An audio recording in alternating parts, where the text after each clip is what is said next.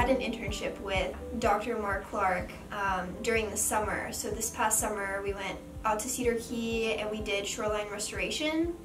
So that was a really great experience. I learned so much and even though it was really hard work, he's such a positive and supportive person. So I, I just got so lucky with getting to do that with him and working with NCBS.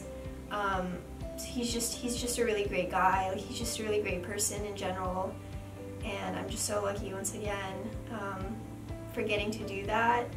The person that has impacted me the most in CALS is definitely Dr. Perry. She's my plant science advisor and she has been an amazing help this semester and also last semester. This is my first year as a freshman in CALS and she's just been so approachable and really takes her time with you and has really helped me through finding what classes I need to take next semester, uh, how to switch majors. I switched majors three times and she was definitely a big help through all of that.